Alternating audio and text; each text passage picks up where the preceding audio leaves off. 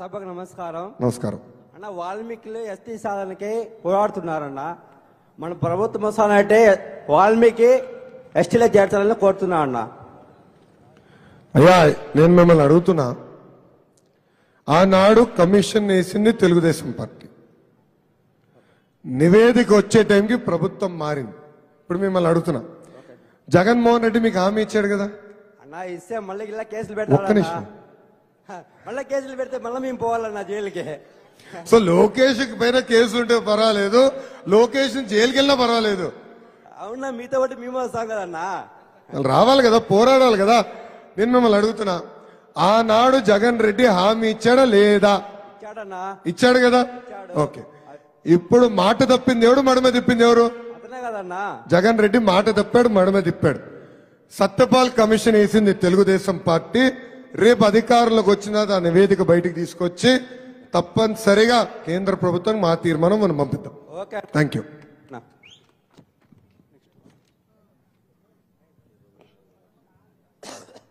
hello.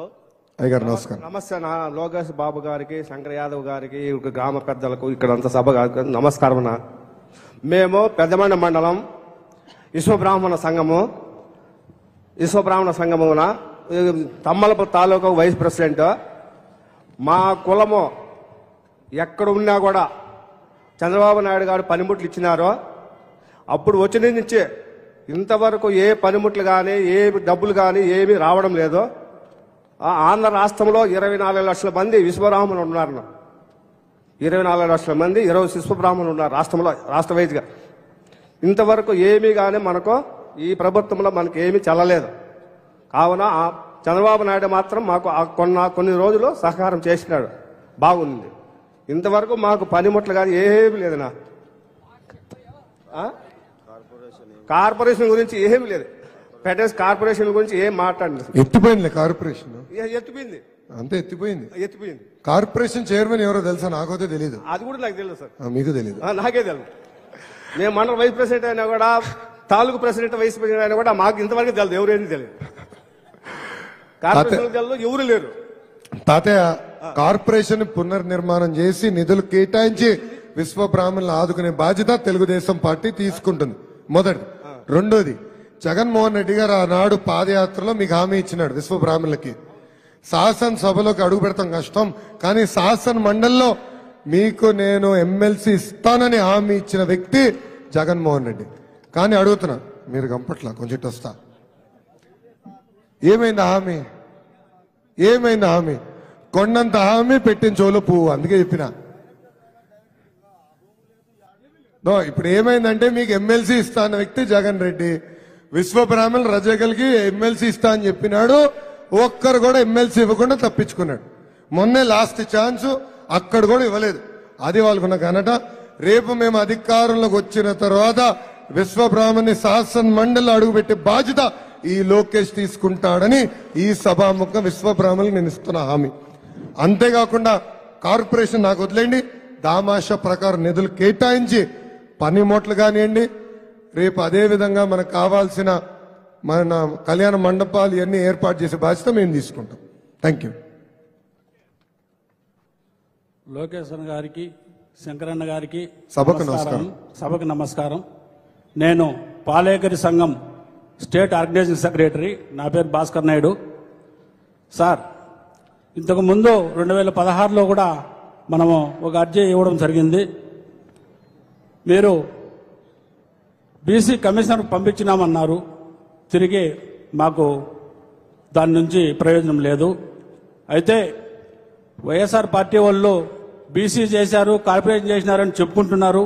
ఇక్కడ పరమట మండలాల్లో ఎక్కువ మంది పాలేకర్ సంఘము పాలేకర్ సంఘము సభ్యులు దాదాపు రాయలసీమ జిల్లాలో పదహైదు లక్షల మంది పైన ఉన్నారు వారికి అందరూ కూడా ఎక్కువ మంది మన తెలుగుదేశం పార్టీతో కలిసి ఉన్నారు.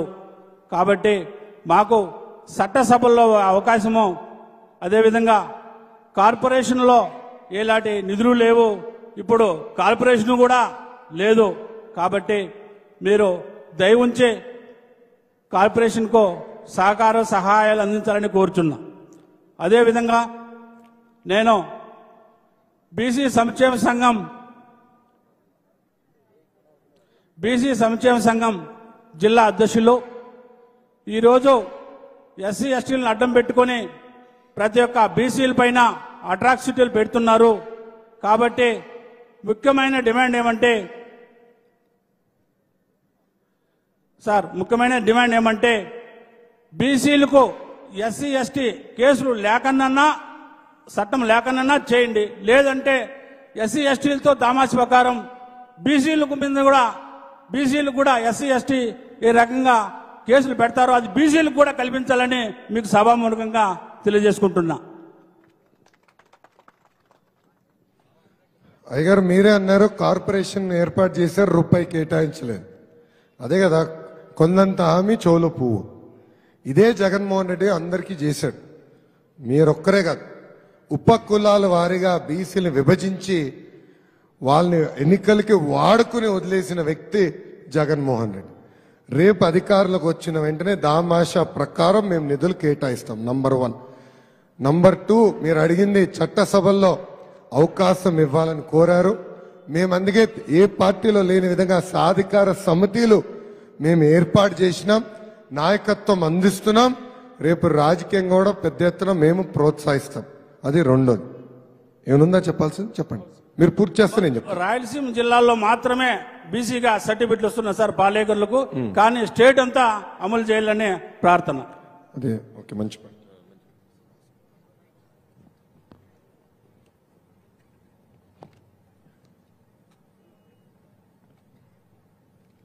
అన్న మీరు చెప్పింది చాలా మంచి సలహా. మొదటిగా అడుగుతున్నా మనం ప్రతి సంవత్సరం మనం బీసీలను ఎందుకు నిరూపించుకోవాలండి? నాకు అర్థం అవట్లా.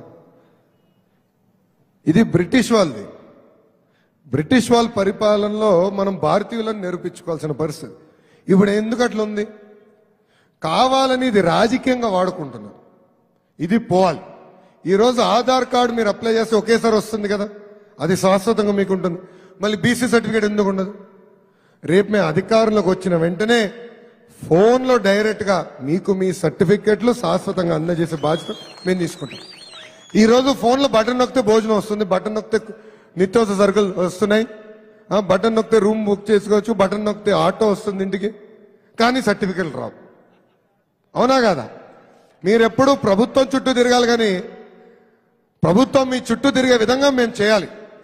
బాబు గారికి విజన్ ఉంది కనుక రేపు టెక్నాలజీ ద్వారా మొదటి సంవత్సరంలో తీసుకొచ్చి మీ ఆధార్ మీ ఫోన్ ద్వారానే డైరెక్ట్గా మీకు మీ సర్టిఫికెట్లు అందజేసే బాధ్యత మేము తీసుకుంటాం.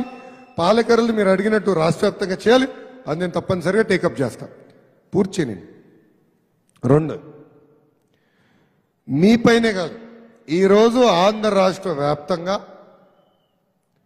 ఎస్సీ ఎస్టీ చట్టాన్ని దుర్వినియోగం చేసి బీసీల్ని ఇబ్బంది పెడుతున్నారు. ఎవరన్నా ఈ ప్రభుత్వం వ్యతిరేకంగా మాట్లాడితే ఎస్సీ ఎస్టీ కేసు?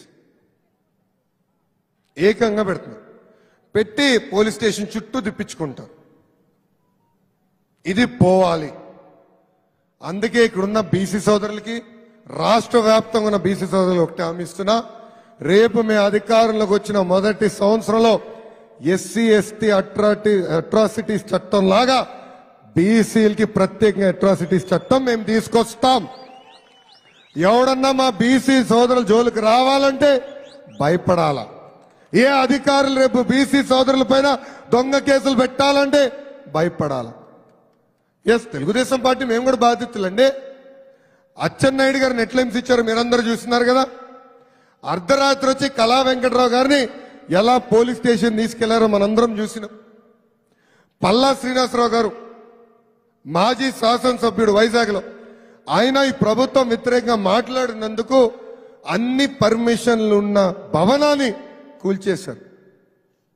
ఇంకా కొల్లు రవీంద్ర గారిని జైలుకు పంపించారు ఇట్లా అడుగడుగున బీసీ నాయకులే కాదు కదా సామాన్యుల్ని కూడా ఈరోజు ఇబ్బంది పెడుతుంది ప్రభుత్వం. అందుకే నిర్ణయం తీసుకున్నాం. రేపు అధికారులకు వచ్చిన మొదటి సంవత్సరంలో ఆ చట్టం మేము తీసుకొస్తామని ఈ సభాముఖంగా నేను ఉన్న ఇక్కడున్న బీసీలందరికీ నేను ఇస్తున్న హామీ.